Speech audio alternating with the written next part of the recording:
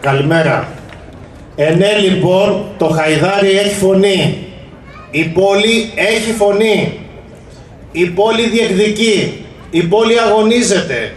Η πόλη αγωνίζεται για ανθρώπινες γειτονιές. Για κοινόχρηστους χώρους προσβάσιμους σε όλες και σε όλες. Για περισσότερο πράσινο. Για καθαριότητα. Η πόλη αγωνίζεται για ασφαλή ποιοτικά σχολεία. Για αντιπλημμυρικά έργα. Για αντιπυρική προστασία. Η πόλη αγωνίζεται για το δικαίωμα στην άθληση και τον πολιτισμό. Η πόλη αγωνίζεται ενάντια σε οποιαδήποτε σκέψη για έλεγχη στους Καραμαγκά. Η πόλη αγωνίζεται για ποιότητα ζωής. Με λίγα λόγια, η πόλη αγωνίζεται για τα αυτονόητα. Για αυτά που τους έχουν στερήσει όλα αυτά τα προηγούμενα χρόνια. Όλοι εσείς ζούμε στο Χαϊδάρι, εμείς και οι οικογένειές μας, ζούμε στο πετσί μας στην άσχημη κατάσταση που έχει περιέλθει ο Δήμος. Όλα αυτά αναδείχθηκαν περίτρανα και σε 7 λαϊκές συνελεύσεις του προηγούμενου διαστήματος, στις οποίες συμμετείχαμε.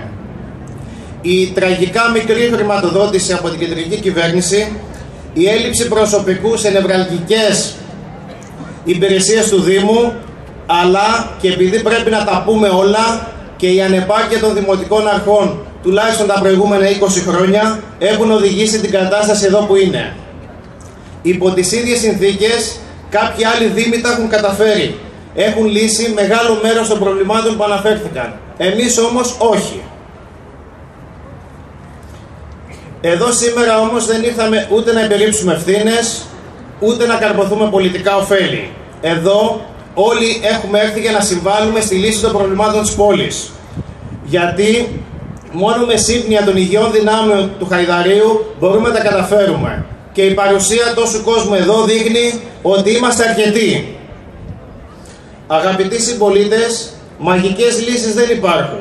Ούτε περιμένουμε θαύματα από τη σημερινή κινητοποίηση, αλλά και ούτε από αυτές που θα υπάρχουν στο μέλλον. Αλλά με αγώνες, με διεκδικήσεις, με συνεργασία, μεθοδικότητα, οργάνωση, με δουλειά, με δουλειά και πάλι με δουλειά θα τα καταφέρουμε.